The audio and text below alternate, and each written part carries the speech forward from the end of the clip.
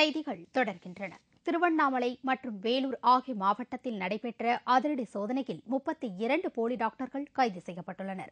அரசு மருத்துவமனைகளில் போதிய மருத்துவர்கள் இல்லாததாலும் தனியார் மருத்துவமனைகளில் அதிகளவில் கட்டணங்கள் வசூலிக்கப்படுவதாலும் படித்தவர்கள் முதல் பாமரர்கள் வரை சின்ன சின்ன மருத்துவமனைகளை நாடி செல்வது வாடிக்கையாகிவிட்டது. இதனால் பத்தாம் வகுப்பு பன்னிரெண்டாம் வகுப்பு படித்தவர்கள் கூட தங்களை டாக்டர் என்று கூறிக்கொண்டு ஆங்கில வைத்தியம் செய்து கொண்டிருக்கிறார்கள். இது பற்றி சுகாதாரத்துறைக்கும் காவல்துறைக்கும் புகார்கள் வரவே திருவண்ணாமலை மற்றும் வேலூர் ஆகிய மாவட்டங்களில் மாவட்ட ஆட்சியர்களின் உத்தரவின் பேரில் நேற்று போலீசார் தீவிர சோதனை நடத்தினர்.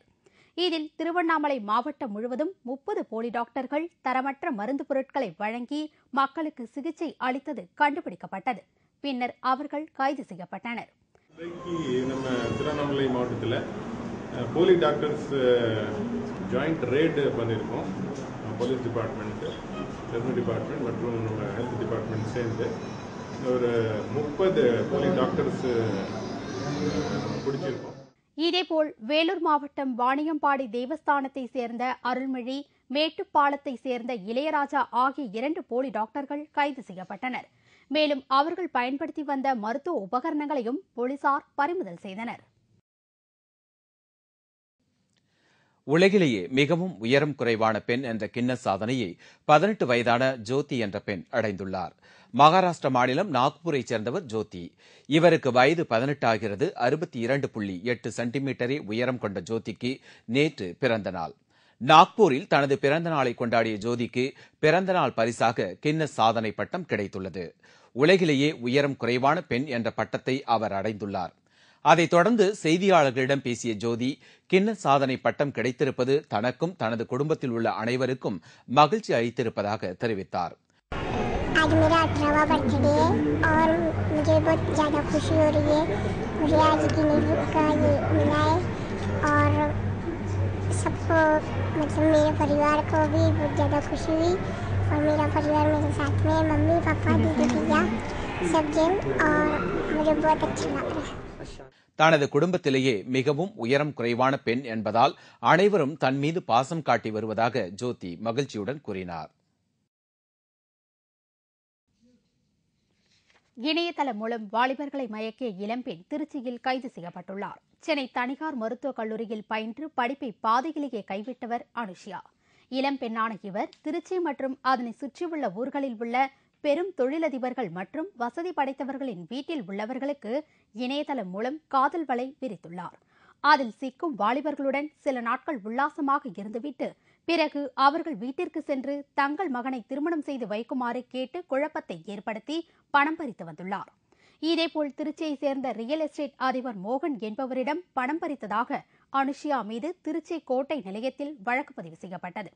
இதுகுறித்து போலீசார் அனுஷியாவிடம் விசாரித்ததில் இதேபோல் பல ஆண்களை மயக்கி பணம் பறித்துள்ளது தெரியவந்தது.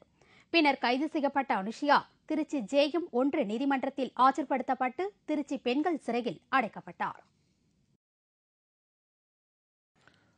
ரியல் எஸ்டேட் அதிபரை பணம் கேட்டு மிரட்டிய சீர்காழி திமுக நகர்மன்ற தலைவர் மீது காவல் நிலையத்தில் புகார் அளிக்கப்பட்டுள்ளது.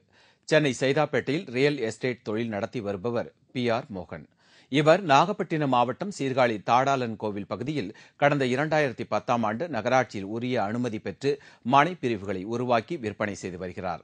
இந்நிலையில் தற்போது சீர்காழி நகராட்சி தலைவராக பொறுப்பேற்று திமுகவைச் சேர்ந்த இறை எழில் மற்றும் அவரது கணவர் ஜெயராமன் ஆகியோர் ரியல் எஸ்டேட் அதிபர் பி ஆர் மோகனிடம் பணம் கேட்டு மிரட்டியுள்ளனர். அவ்வாறு பணம் தரவில்லை என்றால் மோகனின் மனைப்பிரிவுகளை விற்கவிட மாட்டோம் என்றும் அவர்கள் கூறியுள்ளனர். இதுகுறித்து சீர்காழி காவல் நிலையத்தில் மோகன் நேற்று புகார் அளிக்கவே போலீசார் விசாரணை நடத்தி வருகின்றனர். புகார் வந்து சேர்மன் மேலே கொடுத்துருக்கேன்.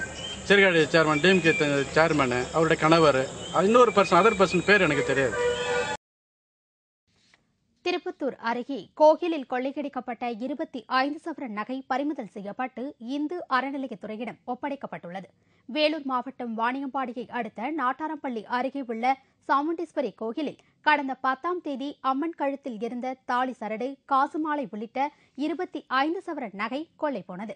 இதுகுறித்து போலீசார் வழக்கு பதிவு செய்து விசாரணை மேற்கொண்டு வந்தனர். இந்நிலையில் ஈரோடு மாவட்டம் கொடுமுடி அருகே கோகிலில் கொள்ளையடித்த தமீம் அன்சாரி என்பவரை பொதுமக்கள் போலீசில் பிடித்துக் கொடுத்தனர்.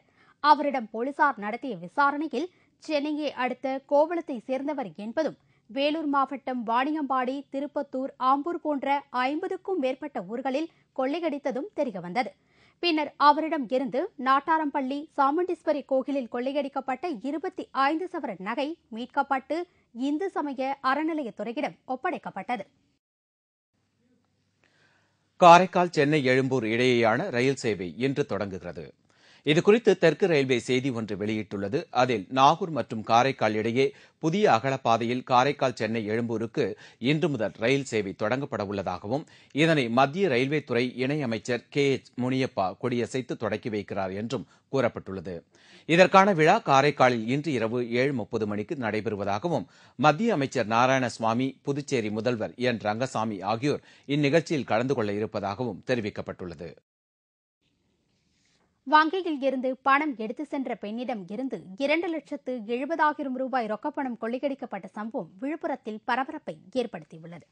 விழுப்புரம் மாவட்டம் திருவண்ணைநல்லூர் கிராமத்தில் நகை அடகு கடை நடத்தி வருபவர் சபரிநாதன். இவரது மனைவி சரண்யா விழுப்புரம் புதிய பேருந்து நிலையம் எதிரே அமைந்துள்ள தனிகார் வங்கியில் தங்க நகைகளை அடகு வைத்துவிட்டு இரண்டு லட்சத்து எழுபதாயிரம் ரூபாய் பணம் பெற்று சென்று கொண்டிருந்தார்.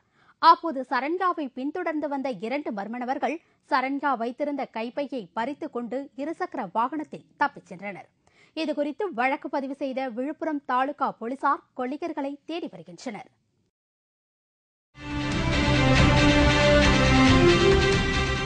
ஒரு ஆண்டில் நானூற்று ஐம்பது கோடி சம்பாதித்த அமெரிக்க பாப் பாடகி விவரம் இடைவேளைக்கு பிறகு